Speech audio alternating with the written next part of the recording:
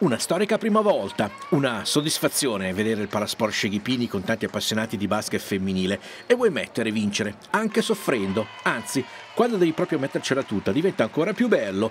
E allora la Vissondra, il debutto assoluto in Serie B, piega 64-61 un per nulla arrendevole Valmadrera. Siamo contentissime, eravamo un po' titubanti, però dai, sicuramente diciamo che ci rassicura il fatto di essere riusciti a vincere la prima soprattutto grazie anche al pubblico che era numerosissimo e ci ha caricato molto. Partita equilibrata, 32 pari all'intervallo lungo, Avis Callunga 54-49 al terzo tempo, un vantaggio che è stato anche di 10 punti, ma la sfida si decide all'ultimo giro di lancette, dove la squadra di casa non sbaglia più. Abbiamo sbagliato tanto, però abbiamo visto che facendo le cose con calma, giocando come sappiamo giocare, siamo riusciti sempre ad andare a canestro senza difficoltà.